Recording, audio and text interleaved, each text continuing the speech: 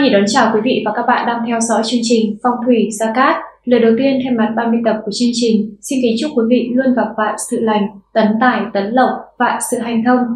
Thưa quý vị và các bạn, vận khí của con người luôn luôn thay đổi, mỗi năm mỗi khác nhau, thì thời vận của chúng ta cũng bị ảnh hưởng, thay đổi theo. Chính vì lẽ đó, bạn cần phải xem tử vi cho tuổi Tân Dậu sinh năm 1981 năm 2023 Việc xem tử vi cho tuổi Tân Dậu sinh năm 1981 không chỉ giúp quý vị nắm được vận hạn hung cát của chính mình, nó còn tạo định hướng cho quý vị trong những bước đi tiếp theo của mình trong thời gian tới. Trong việc xem tử vi cho tuổi Tân Dậu 1981 trong năm 2023 Quý Mão sẽ cho quý vị biết rõ về tiền bạc, tình duyên, công danh, sự nghiệp và gia đạo, sức khỏe. Qua đó quý vị sẽ có được cái nhìn tổng quan về chính mình. Chương trình này được tư vấn và trợ duyên bởi thầy Gia Cát cùng các thầy trong Hiệp hội Phong thủy và Tâm linh Việt. Qua chương trình này, quý vị sẽ có được bức tranh toàn cảnh về vận hạn của mình trong năm 2023 Quý Mão. Cùng với đó, thầy Sa Cát cũng sẽ đưa ra phương pháp hóa giải về tử vi cho người tuổi Tân Dậu trong năm 2023. Sau đây là phần luận giải tử vi cho tuổi Tân Dậu sinh năm 1981 trong năm 2023 Quý Mão. Xin mời quý vị và các bạn cùng theo dõi.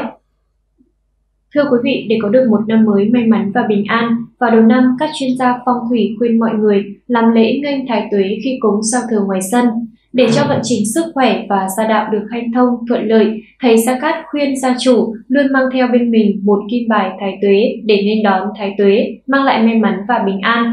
Đặc biệt, kim bài thái tuế của phong thủy Sa Cát được thầy Sa Cát trực tiếp khai quang, chỉ chú và xem ngày sử dụng cho các gia chủ tuổi Tân Dậu sinh năm 1981 để mang lại tác dụng phong thủy tốt nhất hiện nay. Vậy nên gia chủ hoàn toàn yên tâm khi sử dụng kim bài thái tuế của thầy. Tổng quan vận mệnh tuổi Tân Dậu sinh năm 1981 nữ mạng trong năm 2023 Tình hình sức khỏe của người tuổi dậu sinh năm 1981 không thực sự lý tưởng, chủ yếu là bởi bạn phải chịu tác động nặng nề của cục diện xung thái tuế. Bạn cần phải chú ý đến an toàn của bản thân, đặc biệt là khi di chuyển hoặc khi lao động chân tay, tránh để xảy ra sự cố đáng tiếc. Trên phương diện sự nghiệp, bản mệnh cần hạn chế tính cách nóng nảy, không nên đắc tội với mọi người xung quanh. Bạn cũng cần lập những kế hoạch cụ thể cho công việc của mình để có chí hướng, phấn đấu. Dù gặp khó khăn cũng không bỏ cuộc giữa chừng. Trong chuyện chi tiêu, gia chủ dễ rơi vào cảnh vay nợ vì tiêu tiền bừa bãi cho những mục đích không thực sự cần thiết. Người làm kinh doanh thì cần hạn chế đầu tư, chứ nên tin theo lời rủ dê của người khác, đầu tiền vào những hạng mục không đáng tin cậy. Xét về vận hạn năm Quý Mão 2023, Tân Dậu sinh năm 1981 nữ mạng gặp phải. Sao chiếu mệnh, sao Thái Dương, vận hạn là địa võng, hạn tam tai, gia chủ không phạm tam tai, hạn hoang ốc không phạm hoang ốc, kim lâu không rơi vào kim lâu. Về địa chi, dậu gặp mão gặp cục diện tương xung hay nói cách khác là xung khắc với thái tuế, báo hiệu gia đạo bất ổn, xảy ra những sự vụ nghiêm trọng khiến bản mệnh phải đứng ra lo liệu gây ra hao tổn tâm trí. Xét về mối quan hệ thiên can, tân âm kim gặp quý âm thủy là thiên ấn, nghĩa là bản thân được sinh phù. Trong năm nay, những gia chủ tân dậu nếu có cơ hội nên chủ động chấp nhận thử thách để có kết quả tốt hơn.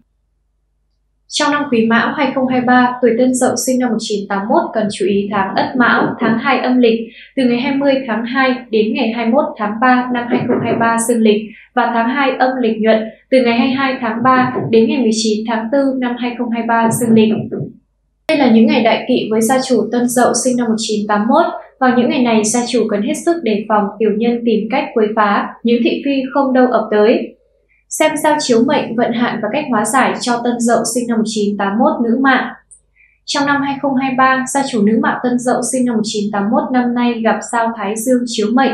Sao Thái Dương là một các tinh thuộc hành hỏa, là một phúc tinh, thường chiếu mệnh cho bên nam giới. Sao Thái Dương chính là mặt trời, thuộc hành hỏa, là đệ nhất các tinh trong hệ thống kiểu diệu niên hạn. Khi gặp sao này nhiều vượng khí cắt lợi khiến cây khô cũng phải đâm chồi nảy lộc. Khi sao Thái Dương chiếu đến sẽ có những tác động đến mệnh chủ như làm ăn được phát đạt, gặp may mắn trong công việc buôn bán. Trong năm mà gặp sao Thái Dương chiếu mệnh, thường có cơ hội thăng quan tiến chức, danh vọng, uy tín, tên tuổi hiển hách, lẫy lừng. Giai đoạn thuận lợi nhất là vào tháng 6 và tháng 10 âm lịch là hai tháng đại cát. Hóa giải, làm lễ cúng sao giải hạn vào 11 đến 13 giờ ngày 27 âm lịch hàng tháng. Vì thời điểm này khoảnh khắc sao Thái Dương đăng viên chiếu sáng nhất, Chính lúc này sẽ có Đức Nhật Cung Thái Dương, Thiên Tử Tinh Quân sáng trần.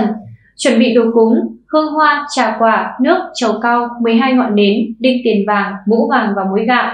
Lưu ý đồ lễ tất cả phải là màu vàng, trường hợp có màu khác thì phải dùng giấy có màu vàng bọc lại.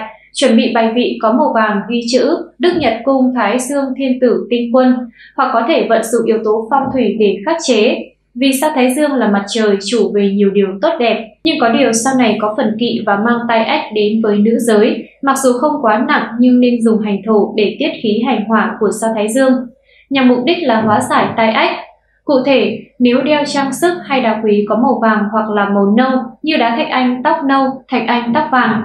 Gia chủ Tân Dậu 1981 nữ mạng năm nay gặp hạn địa võng. Nhắc đến hạn địa võng, người xưa có hai câu thơ lục bát như sau. Địa võng nhiều nỗi buồn phiền, lời ăn tiếng nói xanh đoan dày già, có nghĩa người nào gặp phải hạn này nhiều nỗi buồn trong cuộc sống, gặp nhiều rắc rối thị phi, dù làm đúng hay sai vẫn bị người khác hiểu nhầm, muôn đời mang tiếng xấu. Điều này khiến tâm trạng người gặp hạn trở nên đau buồn, phiền lòng. Khi gặp phải hạn này thì các mối quan hệ xuất hiện nhiều mâu thuẫn và hiểu nhầm. Trong gia đình thì lời qua tiếng lại khiến không khí luôn căng thẳng và mệt mỏi. Không nên quá tin vào lời nói của người khác, nhất là không cho người lạ mặt ở hay ngủ nhờ, chẳng may tai bay vạ gió, hao tiền tốn của, dễ xảy ra tình trạng trộm cắp, mất mát tài sản. Hóa giải để giảm bớt ảnh hưởng của hạn địa võng, gia chủ chú ý không nên đi ra khỏi nhà vào chiều tối, không may tai nạn bất ngờ xảy ra rất nguy hiểm, nhẹ thì hoảng sợ, tiền của mất mát khi gặp kẻ xấu, nặng thì tai nạn đe dọa đến tính mạng và cái chết. Sau đó, gia chủ không nên cho người lạ mặt vay mượn tiền hoặc ngủ nhiều qua đêm, chẳng may gặp phải kẻ xấu nổi lòng tham đánh cắp tài sản, thậm chí còn sát hại đến tính mạng. Quan trọng hơn, gia chủ cần thành tâm, sống hướng thiện, thường xuyên đi chùa thắp hương cầu Phật, mong gia đạo bình an, sức khỏe dồi dào.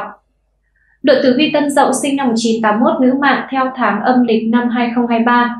Tháng 1, vui xuân đầu năm cùng gia đình nhưng gia chủ tuổi Tân Dậu nên chú ý gìn giữ sức khỏe. Tháng 2, công việc làm ăn của gia chủ có thể bị người khác phá hoại, gia đạo có chuyện buồn. Tháng 3, người trong nhà có thể có tỉ vết, sao kéo ở trên người, cần cẩn thận sử dụng vật sắc nhọn trong tháng này. Tháng 4, những công việc làm ăn của con cháu thuận lợi, mở mang nhưng cần chú ý cửa quan, pháp lý. Tháng 5, đây là tháng gia chủ tuổi tân dậu có tin vui trong gia đạo, ngoài ra chú ý vấn đề liên quan đến sức khỏe. Tháng 6, gia đạo trong tháng này thiếu hỏa khí, sức khỏe gia chủ không tốt nên chú ý việc ăn uống. Tháng 7, gia chủ đón tin vui trong việc làm ăn của gia đạo. Tháng 8, đây là tháng gia chủ có sự thay đổi trong việc làm ăn hoặc con cháu có thể xuất hành đi làm ăn xa. Tháng 9, trong tháng này có sự hao tổn tiền của rất nhiều, cùng với đó sức khỏe kém, dễ ốm đau bệnh tật, Tháng 10, tháng này gia đạo gia chủ có sự sửa sang lại phần mổ mả của gia tiên hoặc gia đạo sửa sang và mua bán. Tháng 11, đây là tháng gia chủ có tin vui, nhiều việc may mắn, hạnh phúc, làm việc gì trong tháng này cũng được thuận lợi. Tháng 12, tay vận tiền bạc có lộc do con cháu biếu tặng, nếu bệnh tật hay ốm đau trong tháng cuối năm đều nhanh khỏi.